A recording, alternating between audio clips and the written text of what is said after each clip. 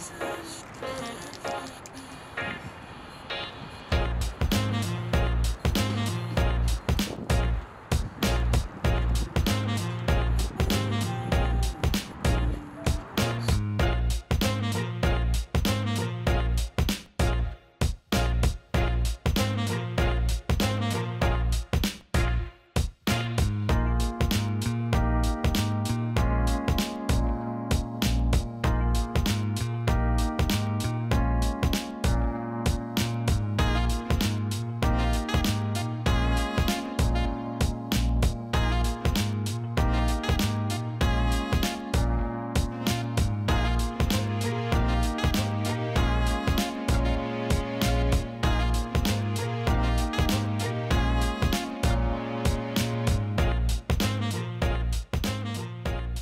We don't want to be outsourcing the work, we want to be working with artists that are here, that are, you know, they need the job, they need the money, they need this and that, but we also want to be building community around our murals. So we see it more as like an artist residency for muralists.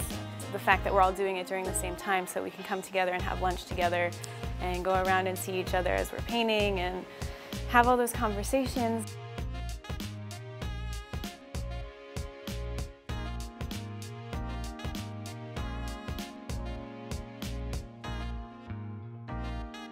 The, current political polarized climate, I think um, a lot of times we want to be invisible